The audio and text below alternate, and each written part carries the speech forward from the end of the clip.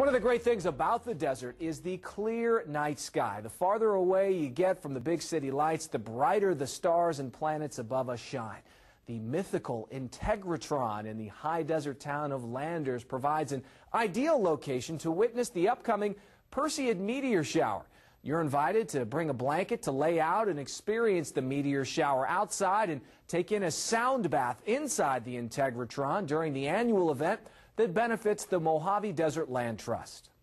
And so we're trying to protect this land. You can help them by attending the Perseid Meteor Shower Party, which will include a presentation by Joshua Tree National Park rangers about the changing night skies through the years as development has increased. You can also step inside the Integratron for a sound bath. We'll give everybody with the crystal bowls, give them a sound bath.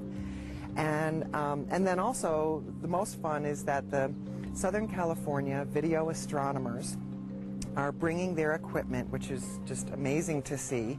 They offload truckloads of, of telescopes and projectors and all kinds of amazing equipment.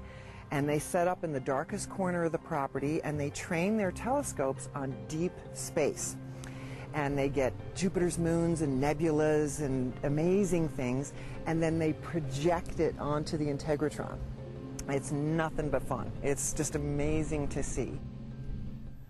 The Perseid Meteor Shower Party at the Integratron is always a popular event. They can take 200 people, and it has sold out the last couple of years. That's why we're giving you a bit of an advanced heads up if it's something you think you might be interested in. It's on August 13th.